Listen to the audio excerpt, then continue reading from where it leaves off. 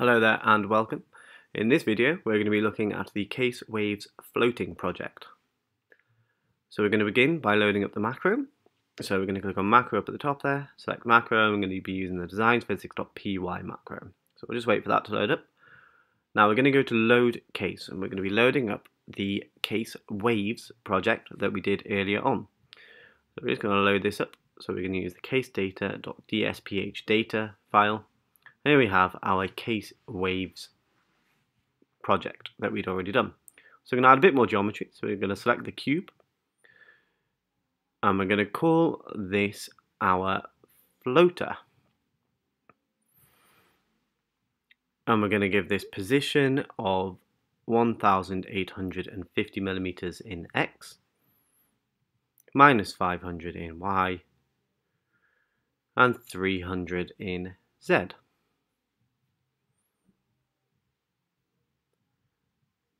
Okay, I'm going to give this dimensions of 300 length, a width of 1000, and a height of 200. Now remember this is in 2D, so we're just going to get a small slice of this, hence why the width is so large. We're going to add this to our simulation now. So we're going to leave everything here as default, except we're going to configure our float state. So we're going to set floating to true and we're going to set our mass of body in kilograms to 30 and we're going to change our gravity center. So we're going to untick auto here.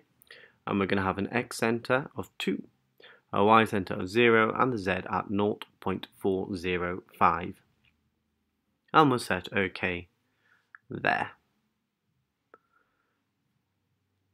Now we're going to change the order slightly. We're going to move the floater above water so we have piston, bottom, beach, floater, and then the water. We're going to check our constants. Everything's going to be the same as it was in the case waves and the same with execution parameters. Everything's going to remain the same as it was in the case waves. Okay, we're going to leave our interparticle distance the same and we're ready to save and run our GenCase. First, we need to save as because don't forget we've loaded the case waves. So we need to rename this to case waves floating. Now we're ready to save and run our GenCase.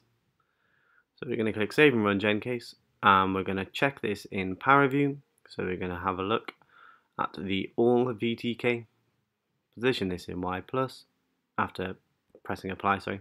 Position this in Y plus and we're going to look at this color by MK and we can see that we have our floater just there and everything else is as we would hope. So we're going to go back into FreeCAD and we're now ready to run our simulation. So we'll just speed this up quickly and just run through it. Um, we'll get the log up on the left there so you can see all the parts as they are being created and if we just get up the output folder as well so that we can see all the parts being output there. Okay, so now we're ready to process this information. So we're going to go to part VTK on the right hand side there and we're going to be exporting the fluid part. So we'll call this fluid part just like so and click export there just wait for that to export. We're going to go back to part VTK and we're going to export the part related to the piston. So we're going to call this piston part and that is the moving part. We just export that. Okay.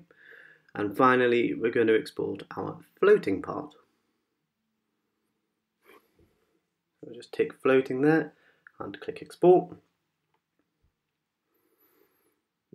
Okay, now we're ready to go into ParaView. So we'll open up ParaView there. We'll get rid of this and we're going to open up all of the parts we've just exported. So we're going to export the floating, fluid and piston parts. Okay, click apply on the left, orientate in Y plus, Um, we'll just make it so this is visible. Okay, and we'll just colour this by velocity and we'll watch this run through. So you can see that the position of the floating part is changing. So what we're going to do once we've watched this run through is we'll have a look at how we can plot the position of our floating part.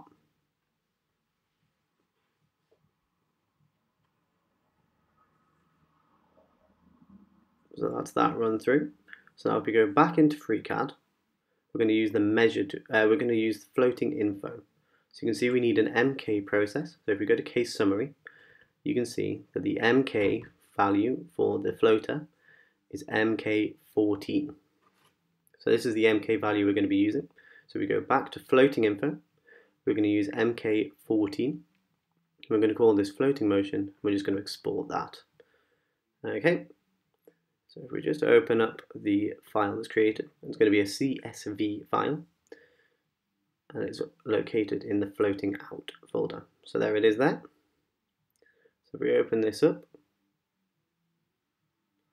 and we'll select the A column, go to data, we're going to go text to columns, we're going to tick delimited, we'll select delimited, we're going to tick semicolon, and we'll just finish that up. And you can see that this is all now split up into columns. Now we want to plot our surge, heave, and roll. So if we select surge, and we're going to insert a table. So we're going to use an XY scatter with lines, and then we have our surge graph. And again, we're going to select the time column, and this time the heave column.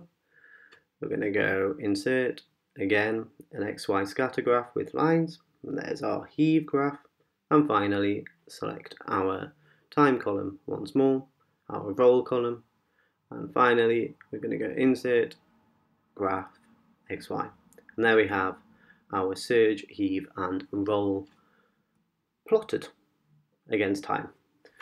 Thank you very much for watching. If you have any further questions, please refer to the DualSPHysics Forum or contact us at dualsphysics at gmail.com.